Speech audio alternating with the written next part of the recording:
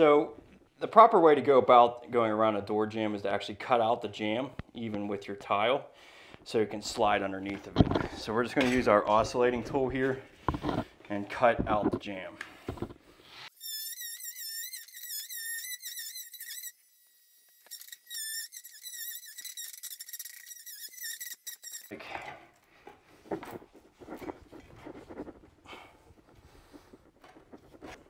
so that should work. So that slides right underneath it there nicely.